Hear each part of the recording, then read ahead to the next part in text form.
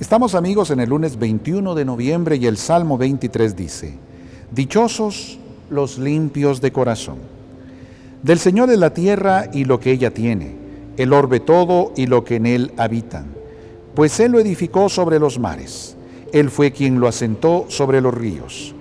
¿Quién subirá hasta el monte del Señor? ¿Quién podrá entrar en el recinto santo?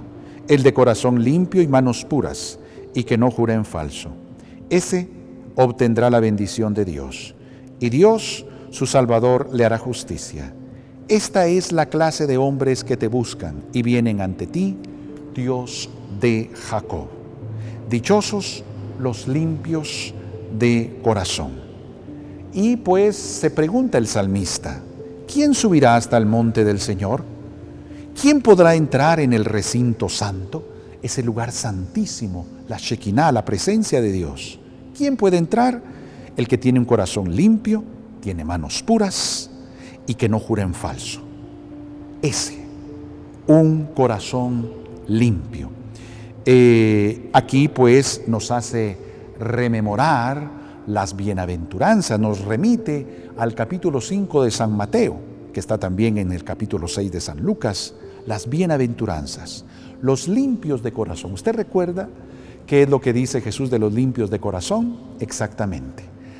Dichosos los limpios de corazón porque ellos verán a Dios. El que tiene un corazón puro descubre a Dios en cada amanecer, en la caricia de una madre, en el bien que hace aquella persona, en el servicio desinteresado de aquel otro. Ahí el limpio de corazón es capaz de, capaz de descubrir a Dios. Que nuestra vida en esa capacidad de hacer el bien, y de buscar el bien, descubra siempre aquel que es el bien mayor, la fuente de todo bien, el mismo Dios.